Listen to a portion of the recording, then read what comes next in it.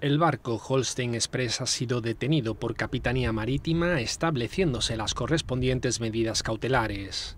Ha sido sancionado y se evalúan sus garantías con vistas a asegurar el pago que conlleve la cobertura de los gastos de limpieza producidos por el vertido. Los inspectores han determinado que se trata de un fallo en el procedimiento de gestión de los sistemas del buque en el proceso de repostaje dentro del ámbito de la seguridad marítima. La barrera anticontaminación desplegada en el muelle de Alfau tiene como fin acotar la zona del vertido de mayor acumulación y tratar de evitar en la medida de lo posible que ésta se extienda en caso de que cambie notablemente el sentido del viento.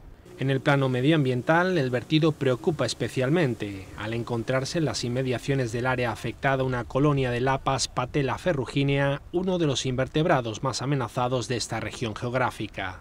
El último vertido de envergadura registrado en Ceuta fue el pasado mes de junio cuando un derrame de hidrocarburos en el estrecho obligó al cierre de la playa Benítez.